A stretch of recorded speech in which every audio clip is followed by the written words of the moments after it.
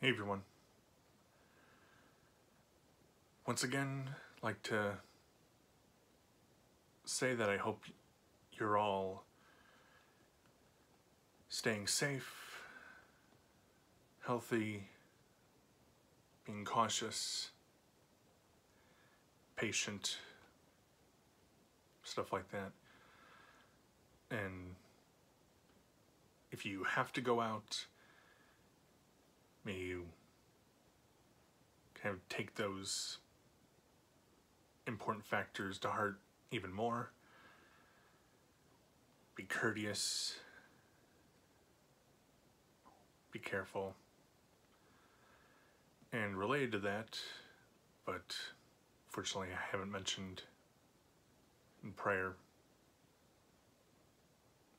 instances of this, uh, big shout out to everyone out there directly fighting against the pandemic, as well as the essential workers out there still doing their thing, helping people out.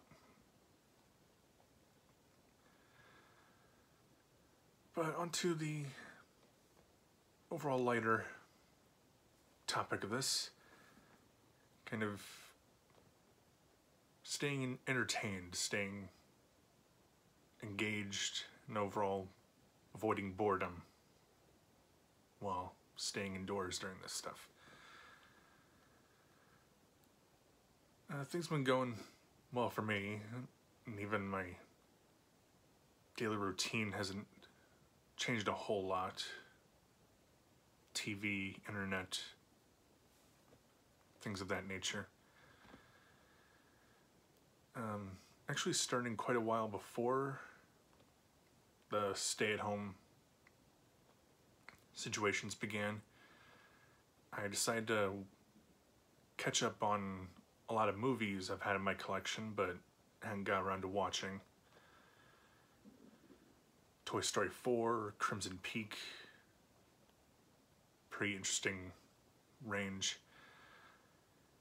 And the kind of gap in time from buying to watching ranging from like a week or so to a few years. So that was very fun kind of exercise, you could say. But I've also uh, gotten to consistent, uh, consistently listening to a new podcast on the sitcom Scrubs, starting up at a pretty appropriate time, as it turns out. But there's still a lot of things that I can catch up on. That's a lot of things among my collections books, TV seasons, comics, podcasts, uh, Criterion specific movies. There's a lot of those still I gotta get to. And among things I'd maybe like to get started, at least get started on in the very near future in the those first two categories are the Weird Accordion to Al and Bojack Horseman seasons one and two. Hmm. If I do kind of go back and forth on getting through these, I feel like it'd be pretty fitting kind of mix of goofiness and insightful satire.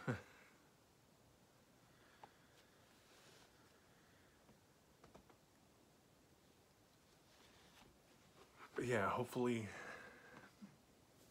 you're all doing well as well as you can.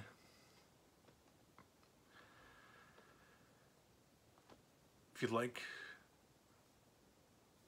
I know comments aren't a common thing for my channel's videos, but if you'd like, feel free to mention how you've been passing the time. Almost did. Um, maybe just how you've adapted to new kind of types of pastimes with your friends and family and stuff.